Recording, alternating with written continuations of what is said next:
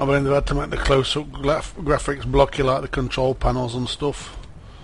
Just because the amount of stuff that's on bloody screen.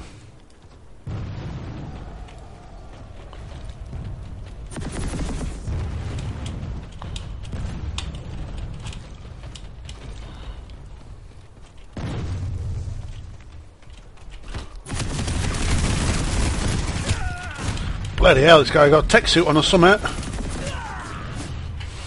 Flipping heck.